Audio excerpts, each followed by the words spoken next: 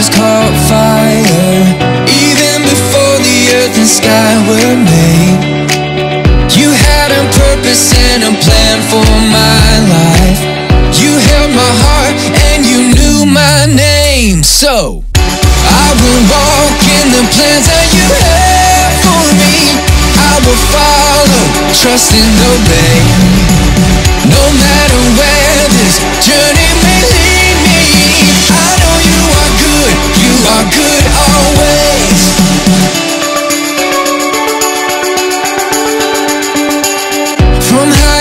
mountains to the deepest oceans. You have created everything we see. And still you made me unlike any other. Nothing compares to your love for me, no. I will walk in the plans that you have for me.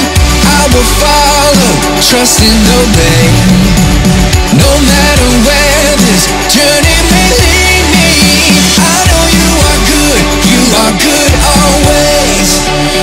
Fearfully and wonderfully created We're all masterpieces To show the world the love of God. Fearfully and wonderfully created We're all masterpieces To show the world the love of God. Fearfully and wonderfully created We're all masterpieces To show the world the love of God I will walk in the plans that you have for me. I will follow, trust and obey. I will walk in the plans that you have for me. I will follow, trust and obey. No matter where this journey may lead me I know you are good, you are good always. I will walk in the plans that you will follow, trust and obey No matter where this journey may lead. Me I know you are good, you are good always. I know you are good, you are good always. I know you are good, you are good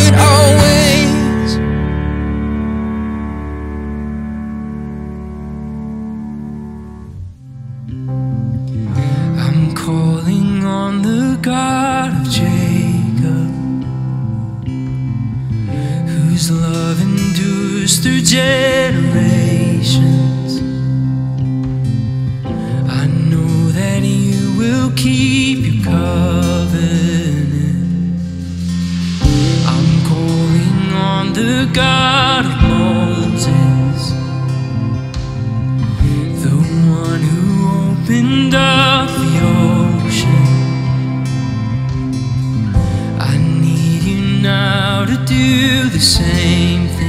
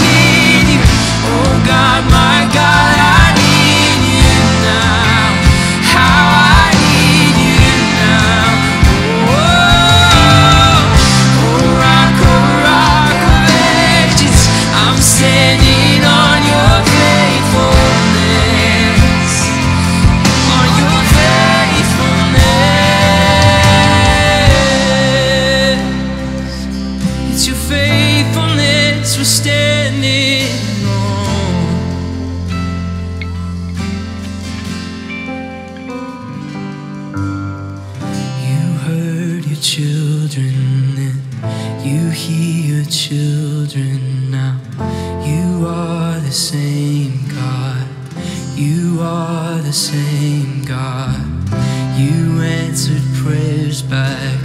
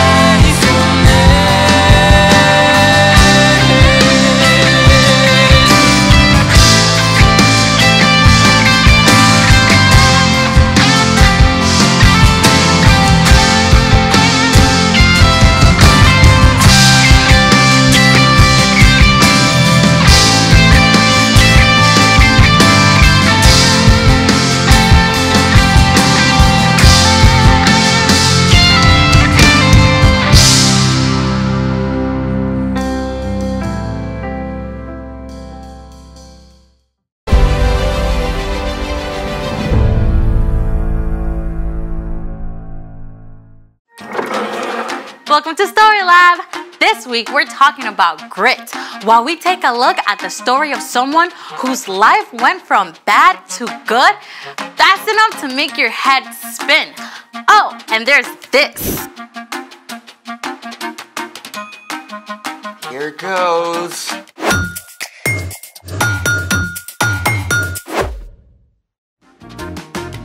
I'm Amaya, And I'm Zeke. and we're talking about grit, which is refusing to give up when life gets hard. What's under the plates? I don't know actually. How do you not know? Well, today's story includes a mysterious dream with food. So, mystery food challenge. Oh, oh, oh, this is great. Those plates could be filled with all sorts of awesome, weird flavored gummies.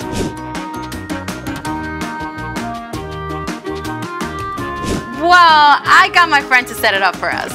You know what? Why don't you do the honors? Mystery vegetable challenge. The Mystery Vegetable Challenge. Oh, I have a bad feeling about this, all the way from my taste buds down to my stomach. Oh, come on. Vegetables can be tasty. Only with ranch dressing. Oh, do we get ranch? Um, I don't know. Let me see. Okay, it says here that we each pick a dish, then we see who can finish eating whatever vegetable they get. I don't know. Come on, you can totally do this. Grit, remember? Can I cook mine with bacon? Just pick. Fine. Here goes.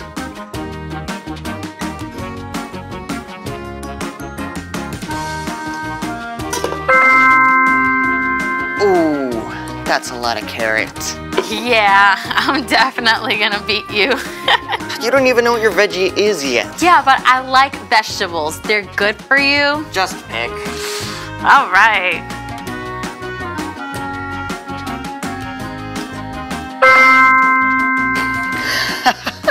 Yum. Yum. Oh, this is great. Let's go. You like vegetables, right? Yeah. On your marks. Get set. Go!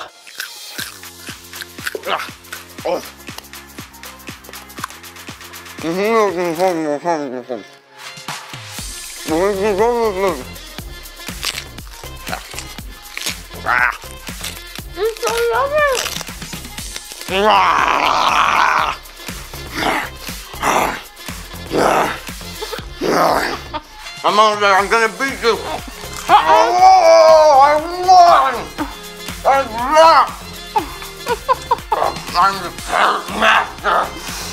And I think it's time for. The story before the story. Today, we're in the very first book of the Old Testament, Genesis. God created the whole amazing world, but people turned away and broke their relationship with God. Still, God had a plan. God called Abraham and Sarah and promised to bless the whole world through their family line.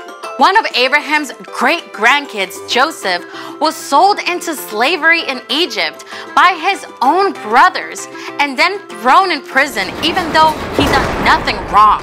But even there, God was with him, and Joseph didn't give up. That's where our story starts. Take it away, Brian. Hey everyone! Well, we are at the bottom of the roller coaster in Joseph's life. Let's find out if it gets any better. During his time in prison, Joseph had interpreted the dream of Pharaoh's drink taster and asked the man to put in a good word for him. You remember? But the drink taster forgot until two years later when Pharaoh called his advisors together. I had two dreams last night. Who can tell me what they mean? No one could help Pharaoh until the drink taster, aha, finally remembered Joseph. Pharaoh called for Joseph at once. Now, it must have been a serious shock to be pulled out of prison after so many years and marched straight into the palace. I've heard you can tell what dreams mean. Oh, I can't do it. But God will give the answer. I saw seven fat cows come out of the river, but then seven thin, ugly cows came up after and ate the fat cows. After that, I dreamed about seven full heads of grain on a stem. Seven weak, thin heads grew up after them and swallowed up the seven good heads. God has shown you what will happen. Seven good years with plenty of food are coming, but then seven years without enough food will follow. Pharaoh should look for a wise, understanding man to take charge and store some of the food in the good years so there will be food to use later. God has made all this known to you. I'm putting you in charge of the whole land of Egypt. Think about it. It had been years from the time Joseph's brothers sold him until he was taken out of prison. And then, in a single morning, he was made second in the command of the whole land of Egypt. Joseph traveled all over Egypt and helped to store up grain during the seven plentiful years. And when the years of hunger began, Pharaoh sent everyone to Joseph to buy food. Now, the famine spread far beyond Egypt. It even reached into Canaan, where Joseph's father Jacob and Joseph's brothers lived. And they soon became desperate for something to eat. I've heard there's grain in Egypt. Go buy some for us so we won't die. Jacob would not let his youngest son, Benjamin, go. But the older ten brothers made the long journey to Egypt and came before Joseph. Joseph's brothers bowed down to him, just as Joseph had dreamed about so long before. We've come to buy grain. We're hungry. Joseph recognized them, but they did not know who he was, so Joseph decided to test them. You're spies! No! We were 12 brothers, sons of one man in the land of Canaan. Our youngest brother is now with our father, and one brother is gone. Joseph continued to test his brothers. He ordered them to leave Simeon behind, return home, and come back with Benjamin as proof of their innocence. Joseph had their sacks filled with grain and sent them away. Along the way, the brothers discovered that their money had been returned. When they arrived home, they showed Jacob the grain and told him everything that had happened. We have to take Benjamin back with us. Joseph is gone. Simeon is gone. I won't let you take Benjamin. Uh, at first, Jacob refused to let Benjamin go, but soon, all the grain brought from Egypt was gone. Go back. Buy us a little more food. The man warned us we can't return without Benjamin. I promise to keep him safe. All right, but take gifts along. Take twice the money. May God cause this man to show you mercy. Once again, the brothers made the long trek to Egypt, this time with Benjamin. Whew. When they arrived, Joseph ordered that the brothers be taken to his own house, where a special meal was prepared. Is your father still living? He is alive and well. When Joseph heard that his father was still alive and saw his younger brother Benjamin, he was so moved he left the room and wept. Then, a short time later, at last, Joseph told his brothers who he was. I am your brother Joseph, the one you sold into Egypt. But don't be angry with yourselves. God sent me ahead of you to save many lives. Then Joseph hugged his brothers and wept. He forgave them. He told them to return to Canaan and bring Jacob and the rest of the families to live in Egypt where they would have enough food, and that's exactly what happened. Joseph's entire family packed up and traveled to Egypt. Joseph finally saw his father Jacob again. The whole family settled in a place called Goshen and had enough to eat through the rest of the famine. Mm-mm. The end. That is epic. I mean, Joseph's brothers did something terrible. Yeah, but God flipped it upside down. God made sure that Joseph was in the right place at the right time with the power to save his whole family. Yeah, that's right. Jacob's family actually became the Israelites. And remember, God promised to bless the whole world through them. In fact, hundreds of years later, Jesus was born into Jacob's family line. Through the life and death and resurrection of Jesus, every single one of us can be forgiven. Phew. So, what's our part in the story? Well, Joseph held on through some difficult times, right? But all those hard pieces ended up leading to something amazing. So, we can look at how God worked in Joseph's story and trust that God is at work in our lives too. Oh, yeah, absolutely. God is big enough and amazing enough to take something that seems awful and still work out a good ending. Like if you have to move away from your friends. Or maybe you get sick right before a big trip you've been super excited about. God can see the bigger story, even if we can't. God knows how things will be made right in the end. Yeah, we might just have to wait a little longer than we like. You know what? I think you two got it. See you next time. So here's the thing hold on because there's a bigger story, and that can give you grit. You really don't have to finish that. Oh, you bet I am, because the bigger story for this broccoli is sauteed with some bacon. Well, we can't finish without finding out what's in the last dish. Oh, go for it.